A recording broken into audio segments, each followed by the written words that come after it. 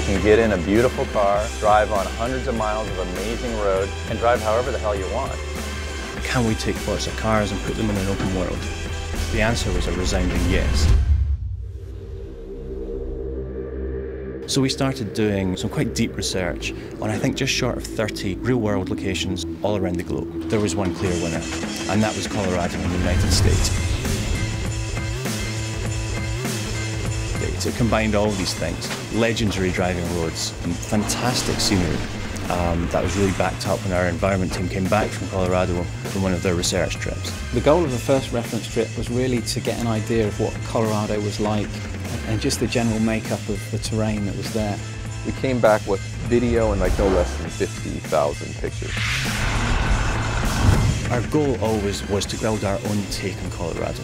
So we cherry picked all the best bits that the guys had found, put them into a 2D map form initially, and then from that we started building a 3D world. The biggest challenge is, is finding how to transition from one really diverse looking environment to the next, and that's where our extensive research really came in. That festival, wow, it's sexy every time. The lakeside area. The snow-capped mountains plains to the foothills and forests and canyons. It's just epic diversity. Red Rock is probably my favourite zone in the game. There's these massive vistas across the entire world. It's, it just looks absolutely stunning. And we've seen it as our job to make sure that this world is packed full of fun things to do and find.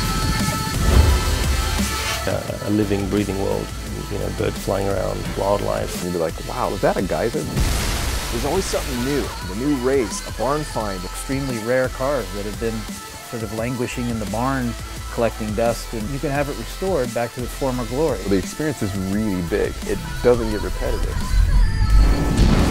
Not only does Colorado have a, a real diverse environment, it also has a lot of diverse roads. From interstates right up to winding, perilous mountain roads. There's a lot more sweeping turns, um, elevation changes. Uh, the typical sort of long straight road that seems to go on forever. If you're a drift guy, wow, that's the perfect spot for you in that world. It really has the full diversity of driving experiences. The really cool thing about the AI is the festival drivers which you encounter out on the roads of Colorado as well. These are other drivers like you who are, who are just hooligans. They're out there tearing the roads up. You catch a, a Koenigsegg or something, you're like, okay, I'm going to beat this guy this time. And you hit X to challenge that guy, that route pops up, you have no idea where it's going to be. It's different every time. You can go right, you can go left. You might have seen a shortcut and the AI will take those shortcuts as well. Miss a turn and hit a dirt road and smash through a fence and come flying out the other side and suddenly be ahead of the guy that you were behind. You really don't know what to expect. It's kind of like discovering your cars all over again. Falling in love with the same car you may have uh, enjoyed in Forza Motorsport 4 is an entirely different beast out on the open highway.